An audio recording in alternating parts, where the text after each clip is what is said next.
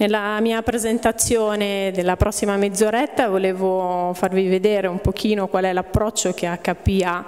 alla protezione dei dati, soprattutto per quello che riguarda l'ambiente virtuale. Piacerebbe, mi piacerebbe darvi qualche suggerimento su appunto alcuni passi che secondo noi, secondo HP, sono uh, importanti per poter uh, capire come preservare e come proteggere le informazioni all'interno di un data center uh, virtuale. Iniziamo con il primo passaggio, il primo step, che è quello di capire quelli che possono essere i cosiddetti business requirement, i requisiti del business nell'ambito della protezione dei dati. Quando eh, decido di implementare una strategia di backup, di disaster recovery e di protezione in generale delle mie informazioni, devo capire che cosa ho e soprattutto che cosa voglio fare, che cosa uh, intendo mettere in piedi, come sono fatti i miei dati. Per cui partiamo da alcune considerazioni. Eh, appena decidiamo di implementare eh, un ambiente virtuale è tutto molto facile, molto semplice, con un clic siamo in grado di mettere in piedi una macchina virtuale, eh, possiamo decidere di lavorare su n tipologie di applicazioni differenti, man mano, che, man mano che andiamo avanti con Uh, evolvendo il nostro data center inizia a esserci un po' di complessità nel senso che il volume comunque aumenta anche se siamo nell'ambiente virtuale, è talmente facile creare nuove applicazioni, nuove macchine che eh, cresce il volume, cresce la varietà, la varietà di applicazioni, ma non solo, la varietà anche di utenti che accedono alla nostra infrastruttura virtuale e che hanno dei requisiti differenti eh, hanno delle esigenze differenti nell'utilizzo delle applicazioni. Per cui il nostro data center, seppur agile, diventa un po' non strutturato. Uno degli obiettivi della protezione dei dati in generale l'obiettivo della protezione dei dati o del backup o del disaster recovery è quello di eh, garantire la continuità del business, quindi essere in grado in qualsiasi momento, dopo qualsiasi tipologia di failure, di riprendere le proprie attività e soprattutto con un focus su quello che è la criticità della, del business. Quando noi parliamo del nostro data center virtuale non tutto sarebbe da trattare nello stesso modo Solo una piccola parte è quella che garantisce effettivamente alle aziende di far business, solo una piccola parte è quello che viene definito come uh, un revenue generating data center. Ed è proprio uh, su questa differenza che ci dobbiamo focalizzare, sul capire che cosa alla fin fine ci permette di, di far business e che cosa quindi dobbiamo proteggere in maniera differente rispetto al resto della, del nostro ambiente virtuale. In quest'altra slide vediamo una slide di analisti. Eh, quando parliamo della protezione dei dati e soprattutto quando eh, mettiamo in piedi una um, strategia di protezione dei dati, quindi abbiamo tutti i nostri dati non più online ma protetti, backuppati, abbiamo una quantità di dati abbastanza piccola che corrisponde sempre secondo appunto gli analisti al 10%, eh, una quantità di dati che sono quelli effettivamente critici, quelli che hanno una, un cosiddetto recovery time objective immediato necessitano di essere ripristinati il prima possibile proprio perché critici, proprio perché permettono all'azienda di andare avanti. Per questa tipologia di dati siamo disposti anche a investire in quello che è la protezione dei dati una certa quantità di, di denaro. Eh, come dicevo è una piccolissima quantità, eh, corrisponde quasi alla, al 10%, ovviamente non in tutte le aziende, però mediamente è una piccola quantità. Se poi guardiamo invece un pochino più avanti nel tempo, nel senso quando noi proteggiamo i nostri dati, i nostri dati di una settimana fa, due settimane fa, un mese fa, sono dati comunque importanti che servono per il lavoro quotidiano sono i cosiddetti operational data, sono quelli che, insomma, che permettono di, anche in questo caso di far business, eh, permettono agli utenti di lavorare, per i quali magari ci possiamo anche permettere di avere un downtime a fronte di un failure un pochino più elevato rispetto ai precedenti. e per i quali appunto siamo disposti sì a proteggere i nostri dati spendendo, introducendo delle tecnologie, un pochino meno rispetto al precedente. Infine c'è la stragrande maggioranza dei dati, quasi il 70%, che sono i cosiddetti legacy data, ovvero i dati che si servono, però sono comunque abbastanza vecchi, raramente vengono acceduti. È vero che ho la necessità di, nel momento in cui ho una strategia di backup, metto in piedi le mie retention, decido di mantenere per tot tempo,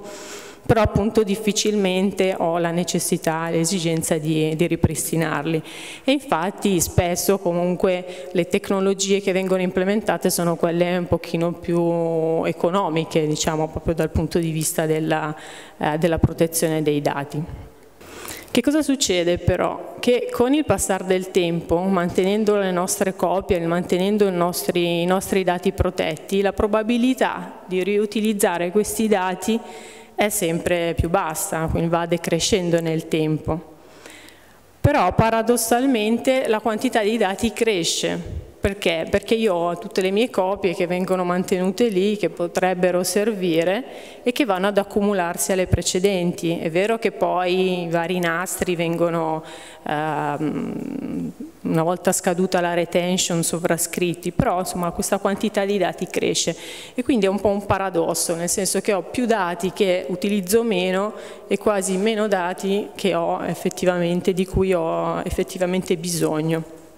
Ecco perché quando dobbiamo introdurre eh, o migliorare la nostra strategia di backup e di protezione in generale dei dati, dovremmo fare attenzione proprio alla, alla nostra retention, anche perché altrimenti rischieremmo di essere in una situazione del genere, dove le n copie delle nostre informazioni dei nostri dati eh, subiscono questa accelerazione, questa crescita eh, esponenziale della quale poi siamo effettivamente eh, non ce ne facciamo effettivamente granché.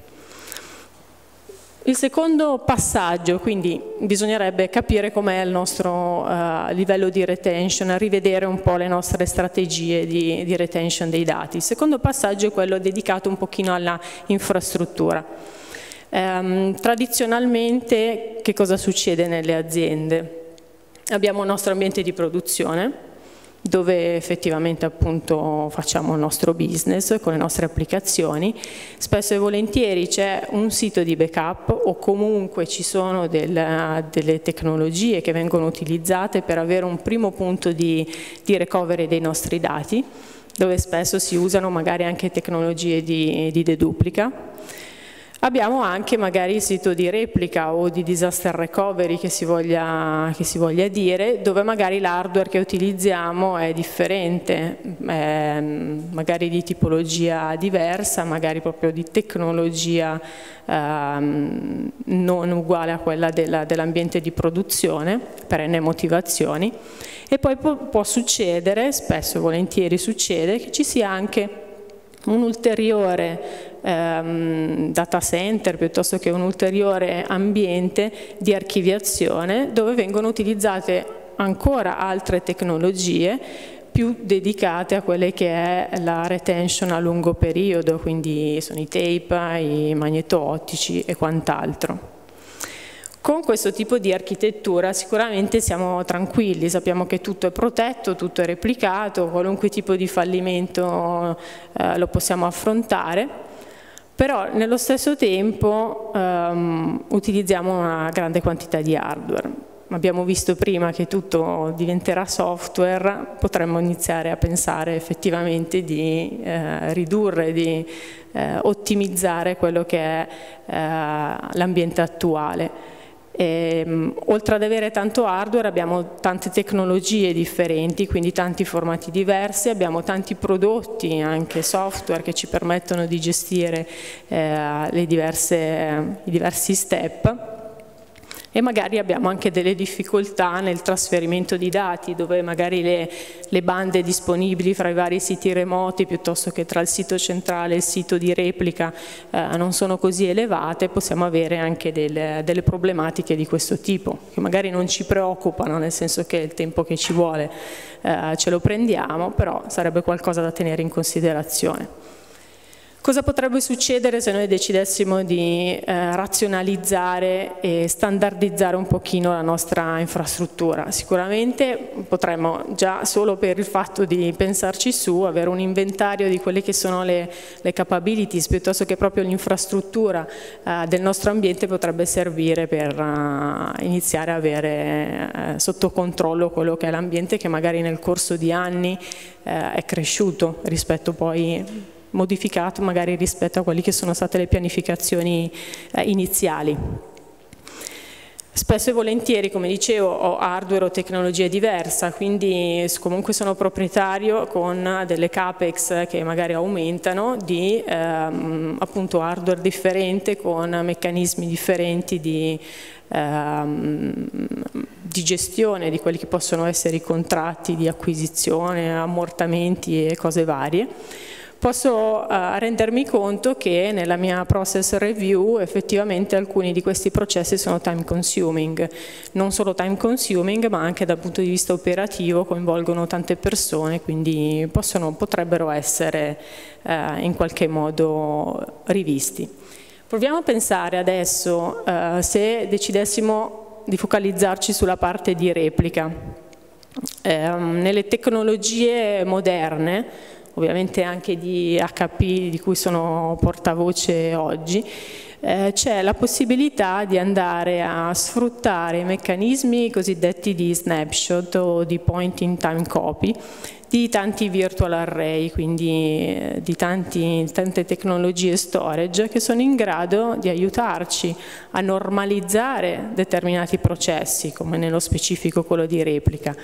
e ehm, nell'avere quello che è l'automazione necessaria dal punto di vista proprio del processo per poter far sì che nel momento in cui io lavoro, quindi sto gestendo l'ambiente di produzione, in maniera quasi automatica gestisco il mio ambiente di replica, il mio ambiente di disaster recovery che è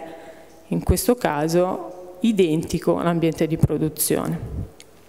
Ho ancora delle debolezze perché se io mi metto in queste condizioni spesso e volentieri o mi lego a un vendor o comunque ho delle spese capex come dicevamo prima o spesso e volentieri magari introduco una tecnologia molto all'avanguardia, molto avanzata, molto costosa però e, e, magari della quale non vado a sfruttare tutte, tutte le funzionalità.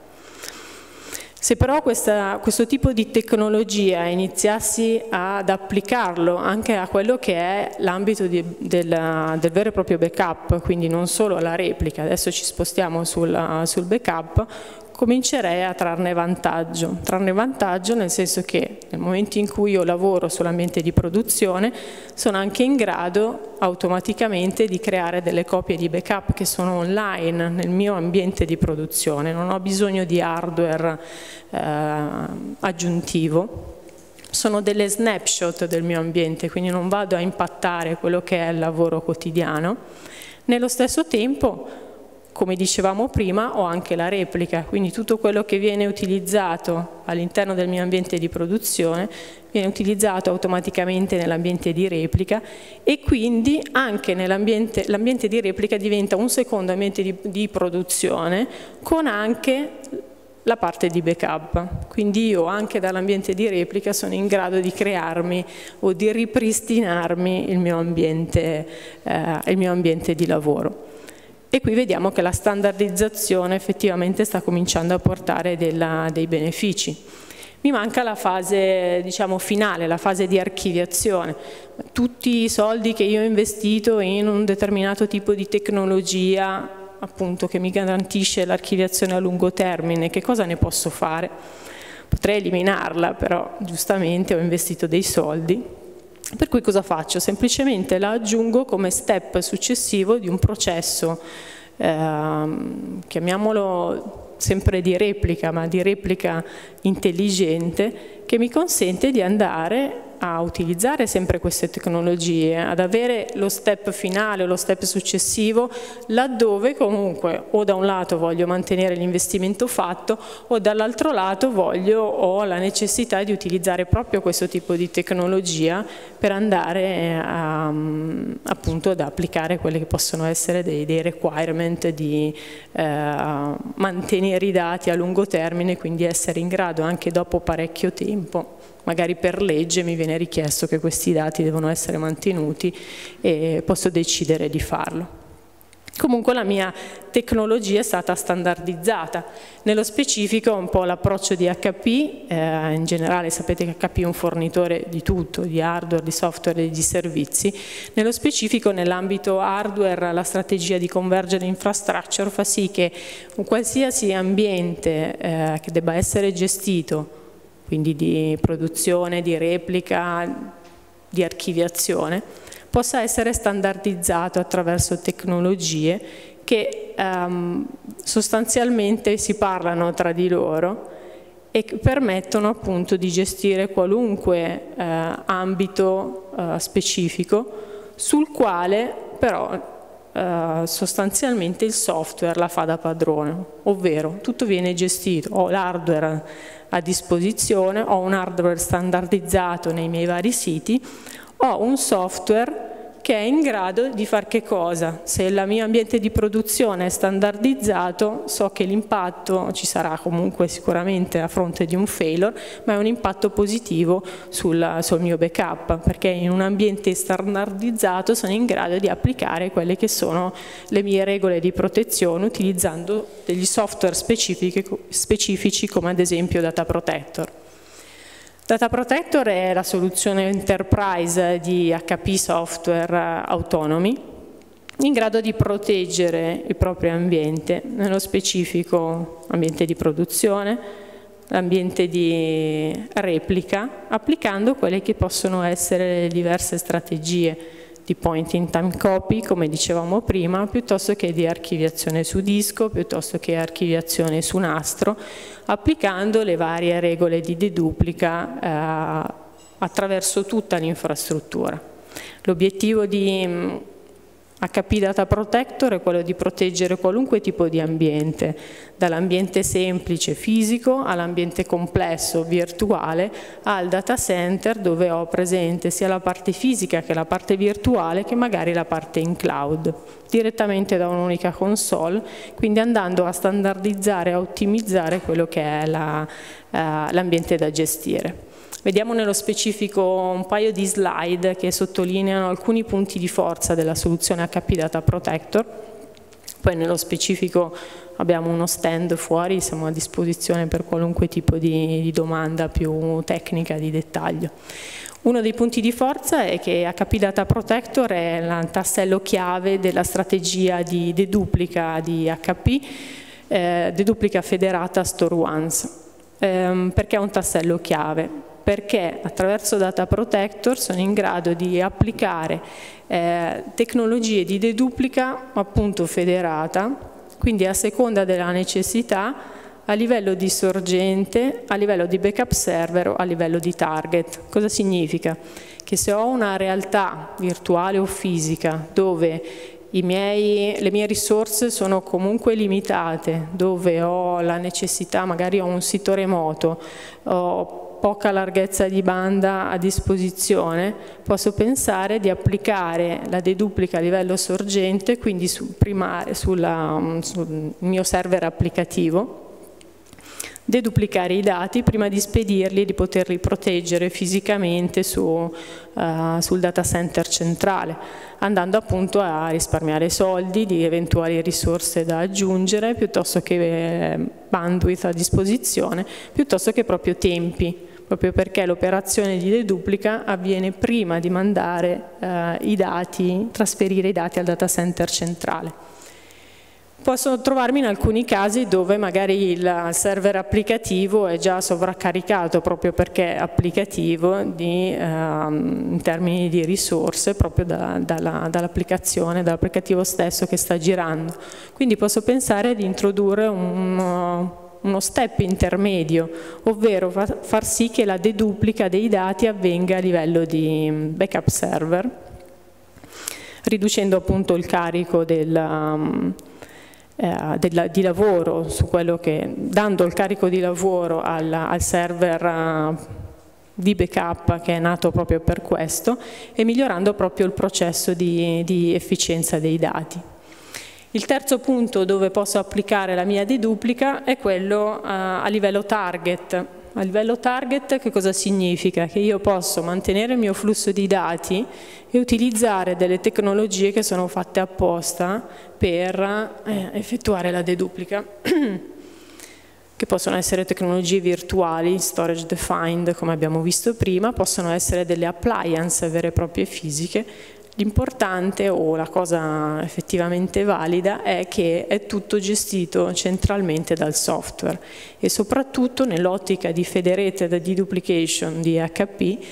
alcuni di questi processi che abbiamo visto possono essere gestiti a livello sorgente, alcuni a livello di backup server e altri a livello target, quindi mantenendo un'estrema flessibilità all'interno del mio flusso di, di, backup senza necessità di reidratare i dati tra uno spostamento ed un altro perché l'algoritmo di deduplica è sempre lo stesso. L'algoritmo di deduplica si chiama store once e si trova all'interno del software data protector così come all'interno delle appliance fisiche piuttosto che virtuali e consente appunto nel momento in cui ho la necessità di ripristinare un dato di non dover necessariamente sapere quale tipo di deduplica ho utilizzato, se sorgente, backup server o target,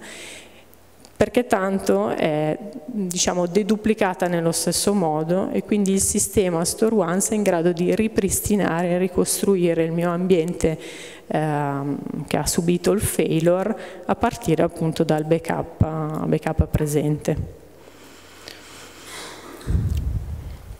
Vediamo nello specifico invece un ambiente virtuale. Quando dobbiamo backuppare un ambiente virtuale ci sono tre livelli di protezione che possiamo fornire, ad esempio per VMware, ma non solo, e poi vedremo,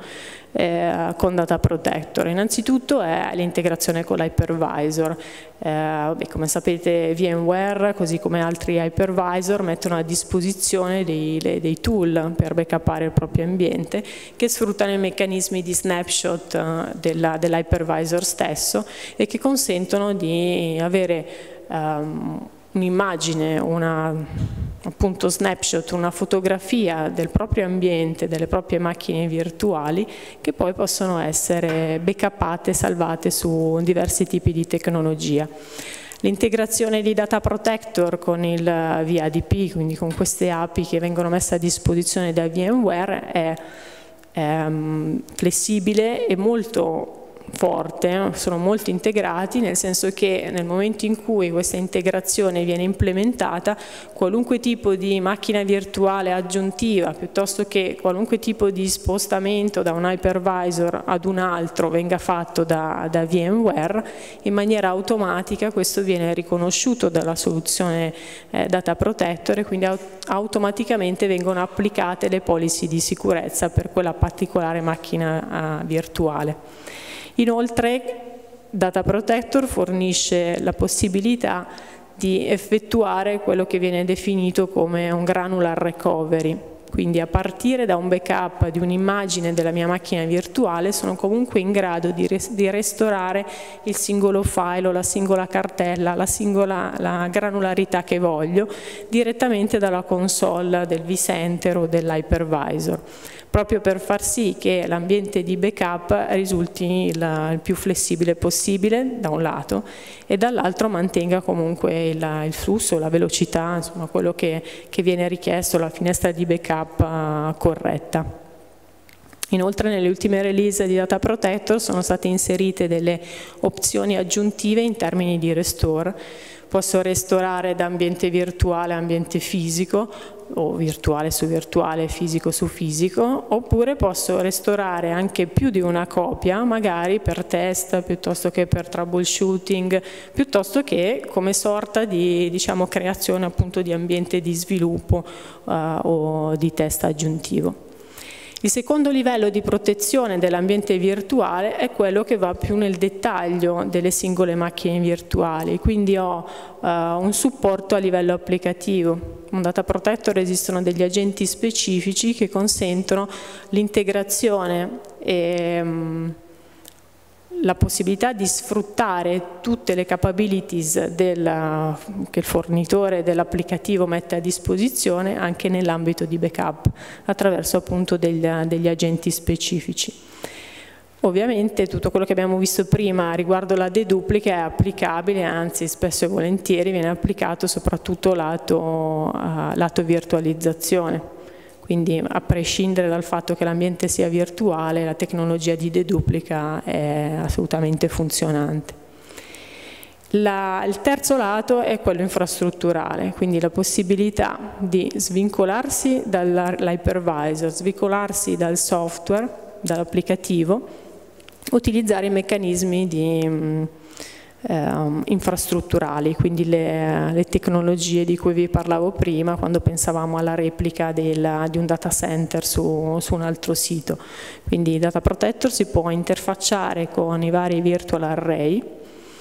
sfruttando appunto le capabilities di point in time copy e avendo quindi a disposizione sull'array di produzione delle copie che sono delle copie di backup e che posso utilizzare come eh, recovery istantaneo semplicemente facendo puntare il mio applicativo, il mio hypervisor ad esempio, a queste copie che sono messe a disposizione senza andare a recuperare i dati da quello che è un ambiente di backup vero e proprio. Quindi parliamo di eh, zero downtime backup perché l'applicazione è praticamente fotografata e già a disposizione, quindi senza nessun impatto sull'applicativo stesso e di instant recovery perché appunto ho la possibilità di recuperare i miei dati oltre ad avere più copie a disposizione. Il meccanismo di snapshot mi dà la possibilità di fotografare il mio ambiente anche più di una volta al giorno, tutte le volte che mi interessa. Nel momento in cui voglio ripristinare i miei dati sono in grado di scegliere tra le diverse opzioni che ho a disposizione quella più adatta o quella che voglio eh, effettivamente ripristinare. Quindi visto quello che possiamo fare in ambiente ehm, diciamo, infrastrutturale, visto come possiamo focalizzarci sulle diverse tipologie di, uh, di dati, possiamo dire che il terzo step è quello della pianificazione rispetto a qualunque tipo di, di failure. Parliamo quindi di un ambiente virtuale. L'ambiente virtuale che ormai ovviamente la sta facendo da padrona ed è anche l'obiettivo eh, insomma, di, di, di, alcuni eventi come, come, quello odierno, è proprio quello di eh, vedere o integrare quello che sono le diverse realtà con quello che è l'ambiente virtuale. Volevo per potervi far vedere un po' come funziona una pianificazione del backup, farvi vedere questa slide che mostra un po' un ambito virtuale, un ambito di protezione dei dati con eh, il nostro software Data Protector, come potrebbe essere gestito. Innanzitutto questa parte della slide il mio, miei, il mio ambiente virtuale con il lato specifico di integrazione con VMware, ho i miei server vSphere, ho la mia console vCenter di gestione, di gestione scusate, e ho i miei applicativi e i miei, i miei server. Dall'altro lato ho la soluzione di backup HP, Data Protector, un manager che gestisce una serie di eh, uno o una serie di backup server che sono poi quelli che saranno integrati con l'ambiente virtuale. L'integrazione avviene in maniera agentless, ovvero non ho la necessità o l'obbligo di andare a installare nulla sulle mie macchine virtuali, ho semplicemente la necessità di colloquiare con il, con il vSphere, con il mio ambiente diciamo, fisico che ospita le mie macchine virtuali e in automatico attraverso un agente di integrazione che andrà installato solo sul backup server posso ereditare tutte le informazioni sui vari volumi delle varie macchine virtuali. Nel momento in cui faccio partire il backup viene creata una snapshot dei miei volumi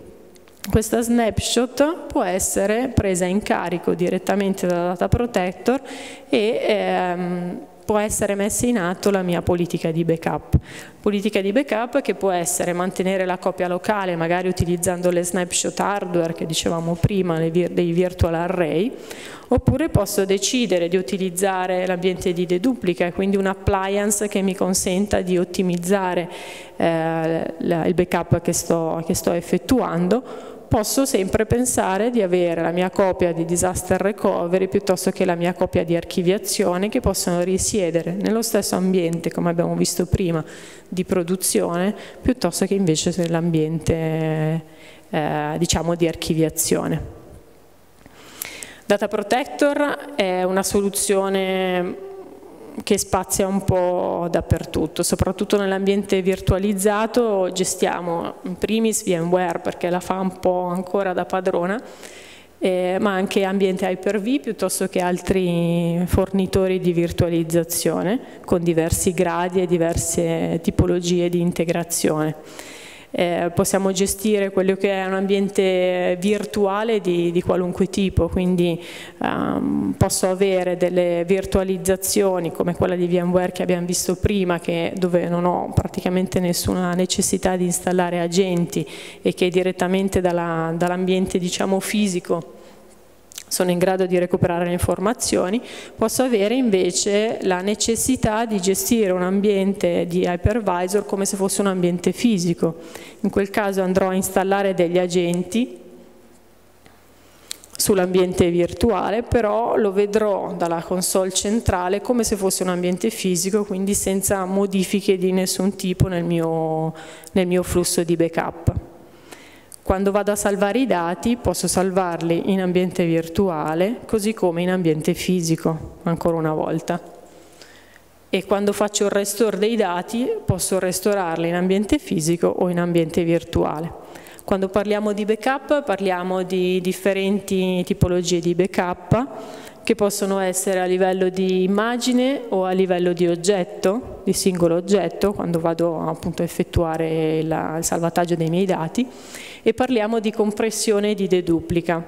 Ehm, le varie integrazioni, i vari diciamo, meccanismi che mi permettono di creare come ad esempio il change tracking, delle viste del, su quello che viene effettivamente modificato rispetto al, al, precedente, mi consente di andare a ottimizzare già il mio ambiente, quindi di applicare quelle che sono le, ehm, diciamo del, appunto delle ottimizzazioni nell'ambito del backup incrementale. E direttamente Data Protector è integrato con ChangeProc Tracking ad esempio di VMware, lo può addirittura abilitare lui, posso abilitarlo dalla console Data Protector nel caso non fosse, non fosse abilitato. Per quanto riguarda la trasmissione dei dati, le mm, tecnologie esistenti possono essere tutte utilizzate. Quando facciamo il backup dell'ambiente virtuale possiamo utilizzare sia la uh, la LAN piuttosto che la SAN, piuttosto che utilizzare dei, la, delle tipologie di, di, storage virtuale o fisico che sono all'interno dell'ambiente dell virtuale. Il tutto direttamente dalla console attraverso la definizione di policy, uh, di wizard che guidano nella compilazione di policy che me, che, e che mi permettono scusate, di definire il flusso esatto che deve tenere il mio dato, quindi se lo devo salvare su, su disco, su disco deduplicandolo, piuttosto che farne una copia, una copia deduplicata su un sito remoto, piuttosto che farne una copia esatta sul mio, uh, sul mio ambiente tape ad esempio. Per quanto riguarda invece la recovery dei dati, come dicevo prima, sono in grado attraverso della dei single step process di gestire la, il recovery granulare dei miei dati, quindi backup comunque tutto l'ambiente, il backup con una snapshot, faccio l'immagine del mio backup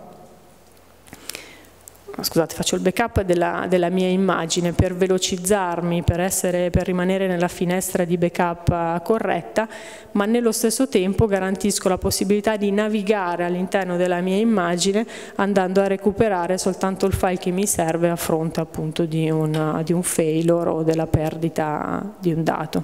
Quindi posso ripristinare o l'intero sistema, l'intera macchina virtuale, l'intero data center, oppure posso fermarmi a livello di oggetto che mi può, può interessare, che può essere necessario. Come dicevo, il massimo delle integrazioni sono con VMware, ma mano a mano che eh, gli altri hypervisor sviluppano delle funzionalità ci integriamo con l'obiettivo appunto di essere ehm, hypervisor indipendent ed avere un unico agente in grado di colloquiare con i diversi ambienti virtuali.